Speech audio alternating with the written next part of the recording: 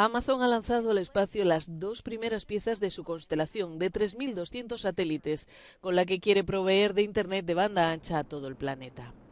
Este viernes, la compañía de Jeff Bezos lanzó desde Cabo Cañaveral, en Florida, dos prototipos de esta red de satélites, bautizada con el nombre de Proyecto Kuiper.